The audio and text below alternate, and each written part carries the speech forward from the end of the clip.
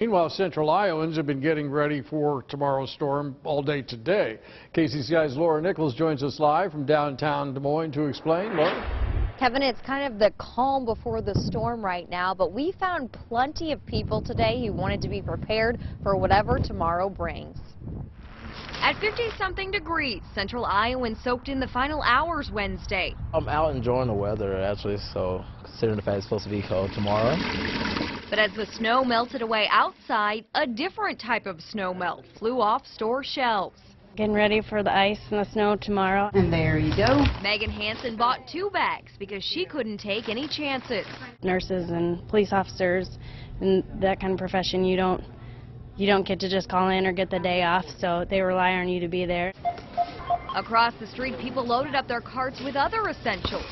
Milk seemed to be the most popular item. I'm pretty stocked up. I'm doing pretty good. I'm just worried about having to shovel it all. That's not going to be any fun.